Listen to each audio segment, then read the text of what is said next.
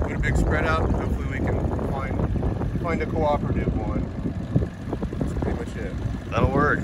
All right, Um, so what we got for baits? We got a little lunging going on here, spinner bait, standard stuff. Trolling girl. Trolling girl, Yeah, um, five inch.